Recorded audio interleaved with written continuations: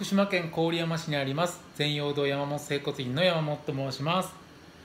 えー本日は、えードローインというですね、えーお腹の、えー奥にあるインナーマッスルを鍛える方法を紹介していきたいと思います、えーインナーマッスルを鍛えることで腰痛予防や、えー姿勢の改善にもつながりますので一緒にやっていきましょう、えーではですねやり方なんですけども、えーまずお腹をですね、えーへこましていくんですけども、えー3秒かけてお腹をへこましていきます。この時に鼻から吸いながらですね3秒ずっとお腹をへこまし続けてください。吸いながら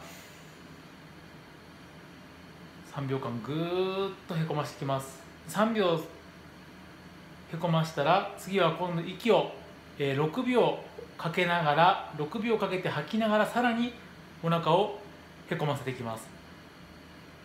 3秒吸いながらお腹をへこませてその後は6秒かけて息を吐きながらさらに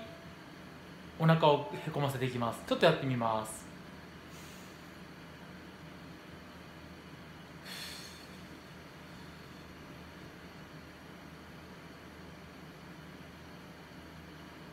はい、えーちょっと分かりづらかったかもしれませんけども